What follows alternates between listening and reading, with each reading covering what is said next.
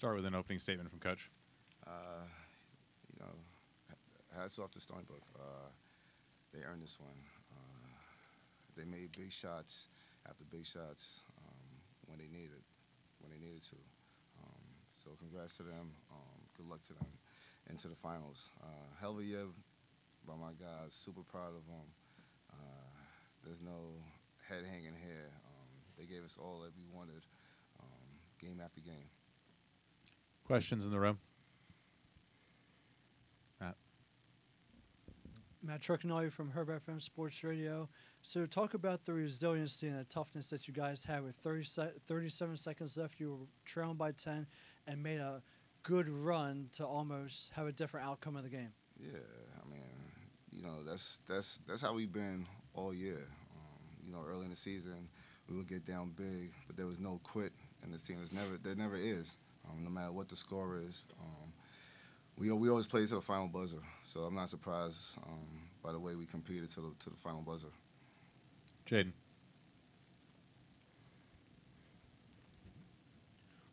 Speedy Tyler goes for 32, 9, and 6, and what could be his last game symbolic of the effort that he's brought to this program for the last couple of years. What will you miss most about him, and how can you best define him? Yeah, I miss everything about him. You know, he's he's the definition of what we want a Hofstra basketball player to look like. Hard worker, both on and off the court.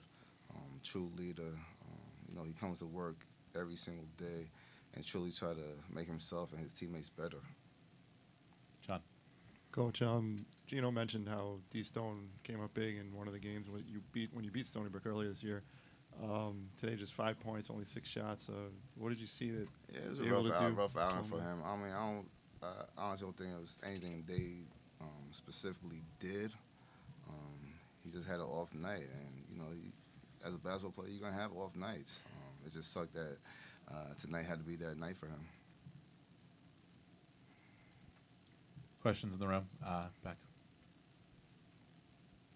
Coach, what what example, what you know, kind of push is, does this team now leave for the legacy for moving on for this program?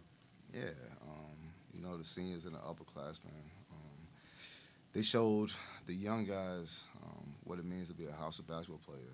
Um, you got to come in, work hard, compete, and um, work on your craft. And if you do that, um, you can have a successful career.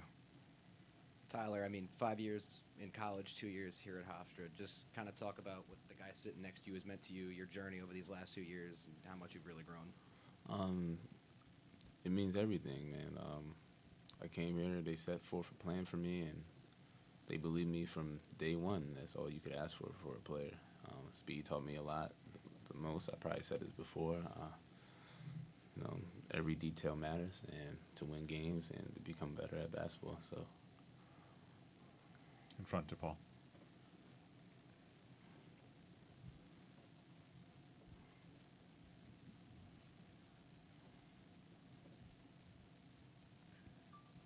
You guys have had the best of uh, Stony Brook most of the time, and uh, it was nice to see an all Long Island semifinal. I want your comments on uh, the rivalry that's uh, sprouting between your two schools. Yeah, I mean, you know, every time we play them, um, it's been a close game, and I, I truly believe that's going to continue to happen. Um, you have two schools in close proximity. Um, it's definitely going to be a rival, and every both teams are going to want to win for bragging rights.